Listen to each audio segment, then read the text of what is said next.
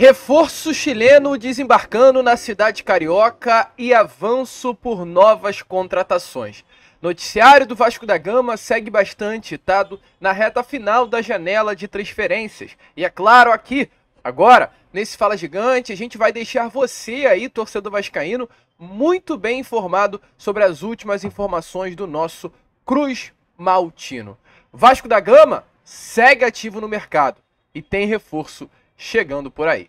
Porém, antes de começar o vídeo, rapidinho, como a gente sempre faz aqui no canal, quero dar as boas-vindas a todos vocês que estão chegando aqui pela primeira vez. Para quem ainda não me conhece, muito prazer, eu sou o Lucas e você está no canal do Gigante Vasco, do canal do torcedor vascaíno. E é claro, né, Vascão, você que está aí do outro lado e ainda não é um inscrito do nosso canal, Vem agora mesmo aqui embaixo, onde tem essa palavrinha inscreva-se. Aperte nela e já faça parte da nossa família. Nós contamos muito com a presença e o apoio de todos vocês para fazer com que o canal do Gigante Vasco chegue a cada vez mais pessoas dentro aqui da plataforma do YouTube. Então não sai desse vídeo sem deixar a sua inscrição, deixar também aí o seu like para ajudar no compartilhamento do nosso trabalho. Show de bola, Vascão? Vambora então, né? Sem muita enrolação, falar logo de Vasco da Gama, porque nessa manhã de hoje, por volta aí das 3, 4 horas da manhã, desembarcou aqui na cidade carioca o atacante chileno Jean Menezes.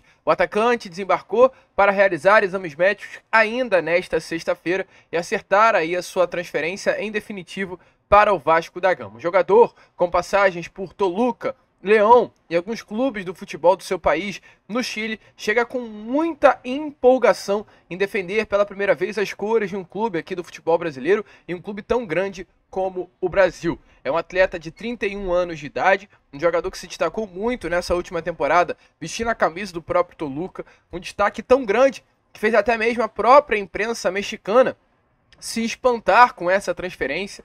Vi muitos jornalistas mexicanos questionando o porquê o Toluca aceitou vender Jean Menezes por 8 milhões de reais, sendo um jogador tão importante para o bom desempenho ofensivo da equipe. Jean Menezes é um jogador com características difíceis de serem encontradas hoje no mercado atual, que é um ponta baixinho, de 1,63m, ele chegando ao Vasco da Gama, vai se tornar o terceiro menor jogador do futebol brasileiro, ficando atrás apenas de Soteudo e mais um atleta que eu não tenho nome, aqui agora e tem exatamente a mesma característica do Soteudo. É esse jogador irreverente, é esse jogador que parte para cima, é esse jogador ambidestro que chuta com as duas, que dribla com as duas, que confunde o adversário, que vai dar espaço para o Piton passar na esquerda quando ele estiver jogando pela esquerda, para o Paulo Henrique passar pela direita quando ele estiver jogando pela direita. Um bom jogador que tem como característica principal essa de partir para cima, gostar do um contra um e tá realmente muito empolgado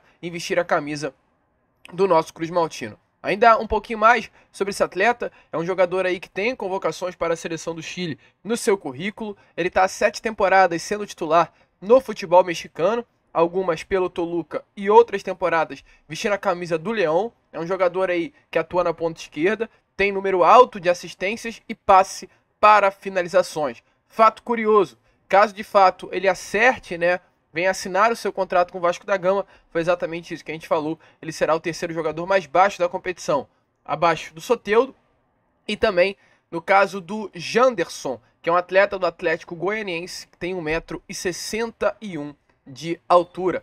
Algo também muito engraçado, assim, até interessante, mais do que engraçado de trazer a vocês, foi que o Jean, antes de fechar com o Vasco da Gama, ele conversou com duas pessoas para entender quem é o Vasco como é o Vasco da Gama.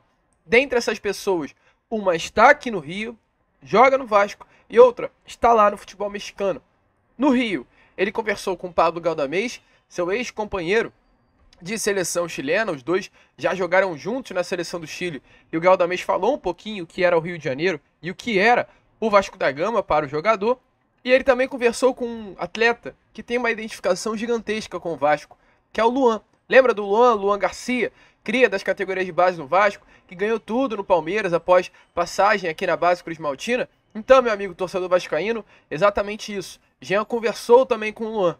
Ambos, tanto o Galdames, mesmo sendo tão criticado pelo torcedor, quanto também o Luan, falaram muito bem do Vasco da Gama. Isso, é claro, animou o Jean de fechar esse contrato com o Cruz Maltino. A gente traz aí agora o vídeo para vocês, o vídeo do desembarque de Jean Menezes aqui no Rio de Janeiro.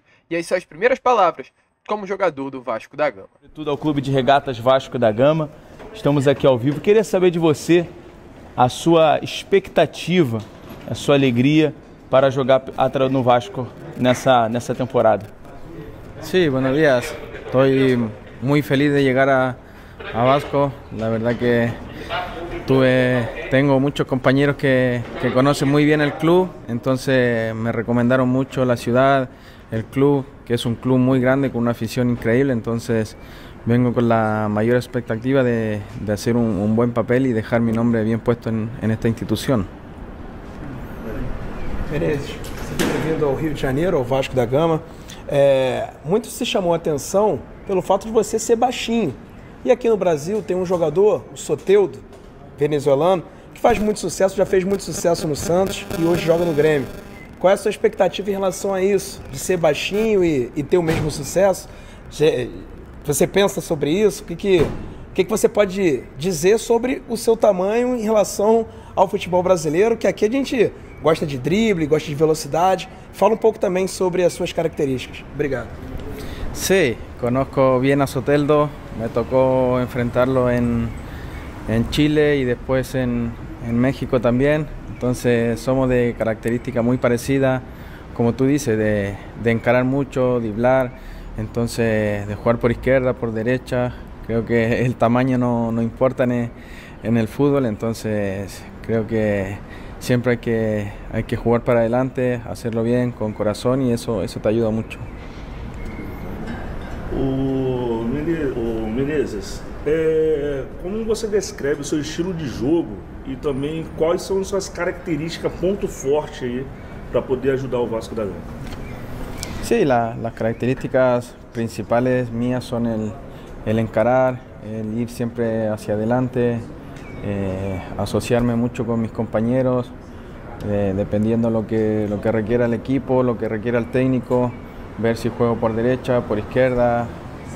Normalmente me gusta jugar a perfil cambiado por izquierda para, para ir siempre hacia adelante, recortar hacia el centro y ver terminar la jugada en, en, un remate al arco que sea gol, si Dios quiere, sino un, un pase de, de gol a, a mis compañeros.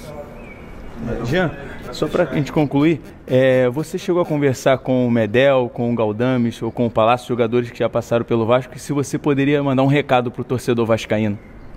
Sí, con el que hablé mucho es Galdames, le, le pregunté sobre el club, sobre la ciudad, cómo, cómo está todo, entonces la verdad que me habló súper bien, igual en México fui, fui compañero de Luan García, que estuvo mucho tiempo en Vasco, me dijo, entonces muy contento de, de llegar acá, de llegar a una institución tan grande como el Vasco.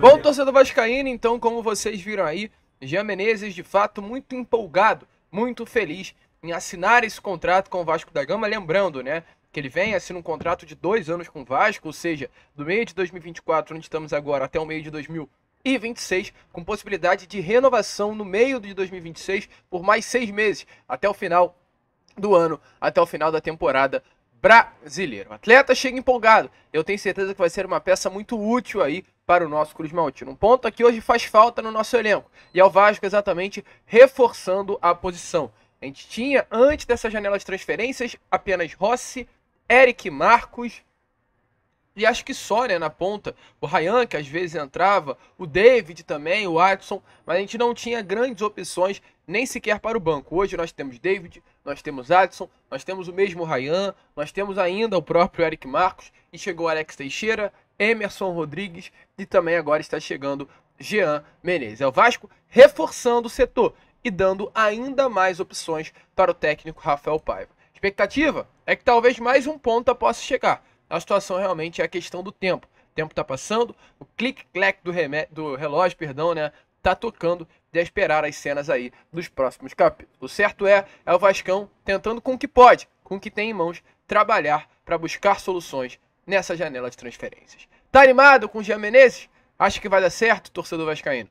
Deixa aí a sua opinião nos comentários. E é claro, seguindo aqui com o vídeo, ainda temos muitas informações a trazer aí a vocês. E falando em reforço, torcedor vascaíno, o Vasco da Gama vai por mais, não vai parar no atacante chileno Jean Menezes. O Vasco já definiu, inclusive, os seus próximos passos no mercado da bola.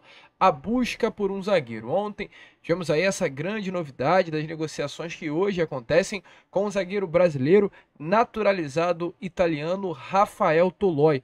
Um nome que seria uma baita contratação para o sistema defensivo Cruz Maltino. Atleta de 33 anos de idade, rodado na Europa, com passagem brilhante pelo Atalanta, são nove anos sendo titular do sistema defensivo de um dos grandes clubes do futebol italiano, inclusive o atual campeão da Liga Europa, uma espécie de sul-americana do território europeu. Rafael Toloi foi o grande capitão dessa conquista que de fato marcou a história do clube italiano. É um nome com muita moral, porém com um contrato curto. O contrato de Rafael Toloi com a Itália vai até o meio do ano que vem. A expectativa aí é que realmente o jogador viva os seus últimos períodos vestindo a camisa do Atalanta. Mas olha, meu amigo torcedor, de fato, tá? Pode ser que esse casamento, que tem quase uma década de duração, possa acabar antes do tempo. Assim como a gente informou ontem a vocês, o Vasco negocia hoje com o Rafael Toló. As conversas já acontecem há algum tempinho, mas elas foram intensificadas nessa última semana. O diretor executivo Marcelo Santana é hoje o grande responsável por tratar diretamente com o empresário do Rafael Tolói a contratação do jogador. Um contrato que, é claro, seria indefinitivo, é um contrato curto que ele tem com o Atalanta, seria impossível o Rafael Tolói vir por empréstimo para o Vasco, então o que deverá acontecer caso as negociações venham a ser concluídas é uma rescisão contratual com o clube italiano e uma nova assinatura de contrato aqui. É possível? Sim, que o Rafael Tolói hoje, mesmo sendo uma peça importante, um jogador de seleção italiana, um capitão do último grande título da história do Atalanta, é um atleta com idade avançada e que vem convivendo com lesões. O Atalanta, por conta das últimas lesões de Rafael Tolói, teve que aprender a se virar sem o seu principal zagueiro. Inclusive, eu fui ontem dar uma olhada na imprensa italiana, a gente vai lendo, né, veículos de comunicação da própria Itália, e realmente no Atalanta, desde o dia 15 de agosto, as informações vêm indo nesse sentido, de que Rafael Tolói iria sair e se realmente encantou com a possibilidade de retornar ao Brasil, sua cidade natal. Mesmo naturalizado italiano, Rafael Tolói é um atleta que começou aqui e chegou a brilhar aqui também no Brasil. Começou a sua carreira no Goiás, brilhou vestindo a camisa do São Paulo e logo após esse período de destaque no tricolor paulista, foi transferido para o Roma. Depois do Roma, o resto é história. Conquistou muitas coisas com o Atalanta e entrou para a história do clube italiano, com passagem até pela seleção da Itália. Então, é um nome que interessa, é um nome que o Vasco conversa, é um nome que o Vasco negocia, é o sonho de consumo, a gente pode tratar assim, para reforçar esse sistema defensivo Cruz Maltino.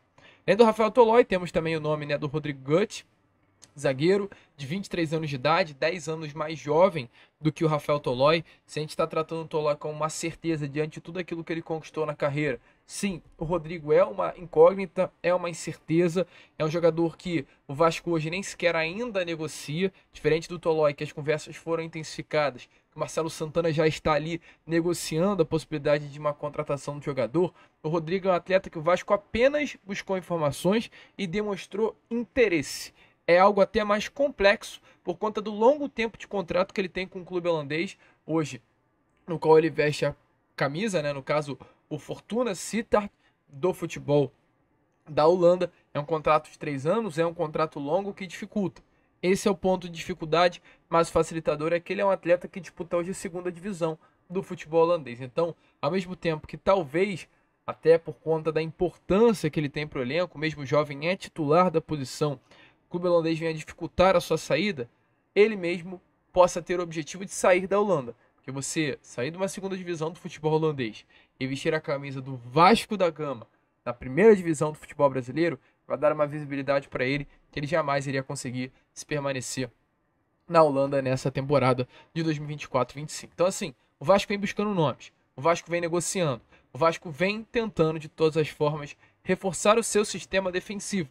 E lembra que algum tempinho atrás a gente trouxe a informação a vocês que além da posição de zagueiro e de atacante, o Vasco trouxe o Jean, desembarcou hoje no Rio, o Vasco vai também buscar volante no mercado. E realmente isso está acontecendo, tá?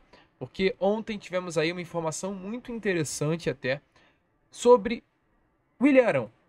William Arão hoje é o nome que veste a camisa do Panathinaikos. Ele está indo para sua terceira temporada no futebol europeu. Ele brilhou com a camisa do Flamengo. Foram quase oito anos aí defendendo as cores do maior rival Cruz Maltino, até para ser mais exato, sete anos defendendo as cores do Flamengo. São mais de 300 jogos com a camisa do rival do Vasco da Gama. E dentre, é claro, né, quase 300 jogos com a camisa do Flamengo, temos aí a conquista da Copa Libertadores, caso ele tem três Copas, uma com o Corinthians e duas com o Flamengo. Além disso, também ele tem Mundial de Clubes com o Corinthians, tem Recopa Sul-Americana com o Flamengo, tem Brasileiro com o Flamengo. É um atleta que conquistou de fato muito com a camisa do nosso maior rival. Foi vendido no ano de 2022 para o Fenerbahçe da Turquia pelo valor de 3 milhões de libras, algo em torno à época de 18, 20 milhões de reais. Após esse período no Fenerbahçe, um ano após passagem pelo clube da, Gre da Turquia, ele foi vendido para o Panathinaikos da Grécia por algo em torno de 15 milhões de reais e está lá desde já. Tem um contrato curto com o Panathinaikos, é um contrato que vai apenas até o meio do ano que vem. Ele vai para sua segunda temporada no futebol grego. E a informação dada ontem pelo jornalista Fábio Torres é que o Vasco sondou a situação do William Arão. Informações aí dadas pelo jornalista é que o Vasco fez uma consulta pelo jogador. Essa informação foi confirmada pelo próprio empresário do atleta. Informações dadas pelo próprio empresário do jogador nesse papo com o Fábio Torres é que o departamento de futebol do Vasco da Gama fez uma sondagem lá no início da janela. Lembrando que a janela abriu dia 10 de julho. Então, uma sondagem foi uma conversa, uma troca que ocorreu aí há quase um mês, dois, é, um mês atrás, né? Uma sondagem que rolou o Vasco hoje tem todas as condições do William Arão em mãos, as condições de negócio, mas até o momento não houve nenhuma proposta oficial por parte do Vasco da Gama. Mas é um nome que segue sim no radar do Cruz Baltino para o restante da temporada. Um atleta sim de muita qualidade, um atleta que não é caro, até porque não foi comprado por um valor tão alto. Volto a repetir, comprado por algo em torno de 15 milhões de reais no ano passado. Futebol ele é assim, a cada temporada que passa, jogadores como o Ilharão, que hoje já tem uma idade avançada, eles desvalorizam. O Arão hoje tem 32 anos, então ele hoje está mais desvalorizado do que estava no ano passado. Então a tendência é que esse valor de mercado dele caia ainda mais. Isso foi comprado em 22 por 18 milhões, comprado no ano passado por 12. Esse ano ele tende a ser comprado e ter um valor de mercado de 8, 7 milhões de reais. Ao meu ver, ah, tem passagem pelo rival, ah, é um jogador que é importante no rival. Meu amigo, é um baita de um jogador. É um atleta que hoje o Vasco da Gama não tem, talvez dentro do grupo. Belharão é o primeiro volante, pitbull, que desarma, mas que sabe jogar. É um atleta, assim, com características muito distantes do Gumora, né? Que o Gumora é esse pitbull mesmo. Jogador, uma espécie de Yuri Lara, perdão, né? Evoluído. Esse pitbull que vai chegar, vai morder, vai marcar, mas com a bola no pé ele não tem essa qualidade. Vai ser difícil a gente ver o Gumor achando um passe. O Ilharão já é esse atleta. E é um jogador que está acostumado a ganhar títulos. E para ter um elenco que ganhe títulos, é necessário ter um grupo, jogadores no grupo, tenham esse costume de serem campeões. O Ilharão é esse atleta. Pelo rival ou não, eu não me importo. Mas é claro, deixe a sua opinião aí nos comentários. Certo é, negociações por Rafael Tolói, interesse por Rodrigo Gutt e sondagens, conversas bem iniciais que acontecem há um mês por William Aaron.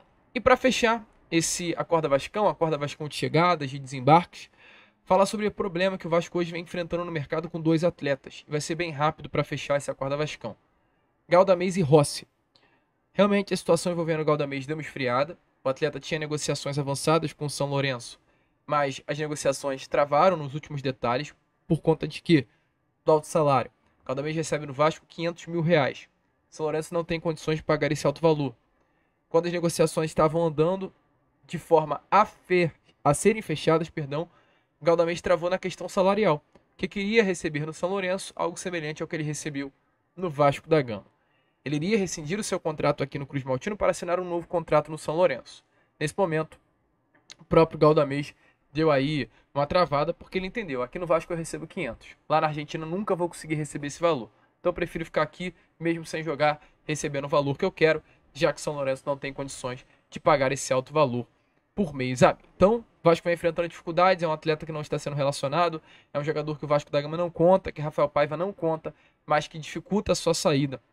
Por conta desse alto salário, automaticamente ele pode ficar aí, mesmo que no banco de reservas do Vasco da Gama. Outro nome também que o Vasco vem enfrentando problemas é Rossi. Rossi, jogador aí que o Vasco da Gama já deixou muito bem claro que não conta para a temporada. Um atleta que de forma assustadora foi relacionado para a última partida contra a equipe do Criciúma e levou o, segundo, o terceiro cartão amarelo no banco por estar encostando numa placa de publicidade. O árbitro ter pedido para ele soltar a placa, ele não soltou, levou o cartão amarelo e está suspenso mesmo sem nem sequer entrar em campo. É esse o Rossi. Esse é o jogador que o Vasco da Gama hoje tem dentro do grupo. E qual é a situação do Rossi? É um jogador que o Vasco não conta, um atleta que tem um salário alto, o Rossi recebe no Vasco em torno de 400 mil reais. E a informação que temos é que o Vasco vem, vem enfrentando dificuldade para achar um novo clube Rossi por conta dos altos salários, mas pelo fato dele ter hoje um contrato curto com o Vasco até o final do ano, clubes negociam um contrato maior, mais longo, com mais duração e um salário menor. E o Rossi está reticente quanto a isso, de assinar uma rescisão com o Vasco, deixar de receber quase 400 mil reais por mês, receber um salário menor em outro clube mesmo com mais tempo de contrato. Vasco vem enfrentando dificuldades por conta dessa situação. Folha inflacionada, herança maldita do grupo norte-americano e Vasco sofrendo na mão de atletas. Só com Galdamez e Rossi é um gasto mensal de quase um milhão de reais por mês. Meu amigo, me desculpe, chega a ser uma loucura o que acontece dentro do Vasco da Gama. Mas a gente fica por aqui. Esse foi o nosso Acorda Vascão, apenas o primeiro vídeo desta sexta-feira, sextou. E já já, é claro, estaremos aí de volta com o nosso Fala Gigante, trazendo ainda mais informações, mais novidades sobre o nosso Cruz Maltino. O que vamos, se inscrevam, compartilhem e, como sempre falamos aqui, saudações vascaínas.